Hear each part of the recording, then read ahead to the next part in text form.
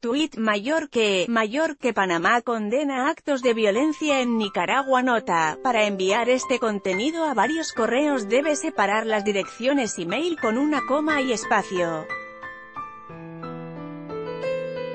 Nuestro sistema permite un máximo de 5 destinatarios y un comentario de hasta 2,500 caracteres en el mensaje. Destinatarios, remitente, comentario enviar por, enlace compartido exitosamente, por no hemos podido compartir el enlace en este momento, inténtelo de nuevo más tarde.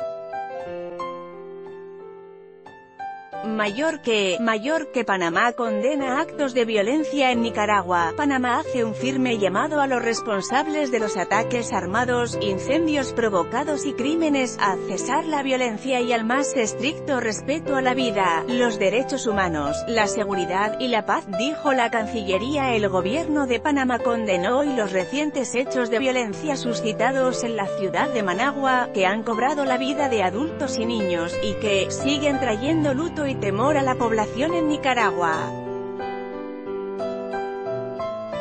Panamá hace un firme llamado a los responsables de los ataques armados, incendios provocados y crímenes, a cesar la violencia y al más estricto respeto a la vida, los derechos humanos, la seguridad y la paz, dijo la Cancillería a través de un comunicado oficial.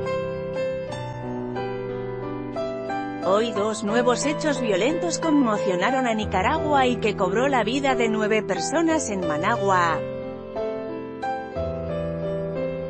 En uno de ellos murieron al menos seis miembros de una misma familia, entre ellos tres niños, cuando el edificio donde vivían fue incendiado por encapuchados que lanzaron bomba molotov en su interior, donde había material altamente inflamable por el negocio de telas y colchones a los que se dedicaban sus moradores, según la Dirección General de Bomberos de ese país. Esa versión, sin embargo, no coincide con la de una familiar sobreviviente y vecinos que explicaron que prendieron fuego al inmueble porque la familia se negó a prestar la parte alta del edificio para ubicar francotiradores y los amenazaron con disparar si salían de la casa mientras ardía en llamas. Otro acto crudo resultó cuando en plena calle de Managua dos hombres fueron asesinados y luego quemados con combustibles y llantas por desconocidos.